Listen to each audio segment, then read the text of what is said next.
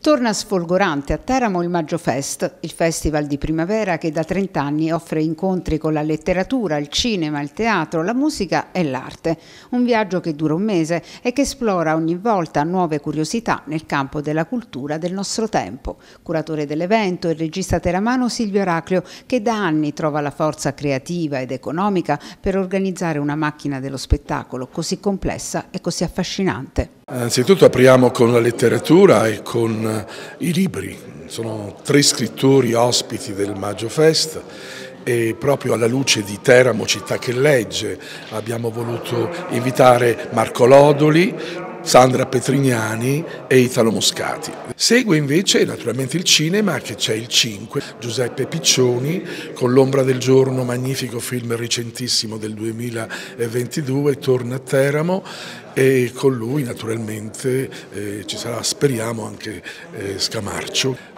Altri appuntamenti con la musica e diciamo anche il cabaret, il Signor G, uno spettacolo praticamente su un omaggio a Giorgio Gaber, Oddio come siamo liberi.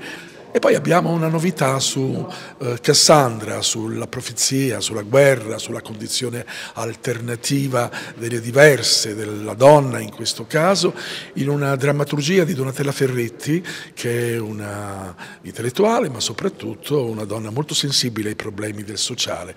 Voglio ricordare che dal 2019 è assessore alla cultura al comune di Ascoli, anche qui accompagnata da un'attrice con delle percussioniste e con l'aiuto di dei video, a spazio Spazio 3 Teatro presenterà eh, questo spettacolo molto intrigante.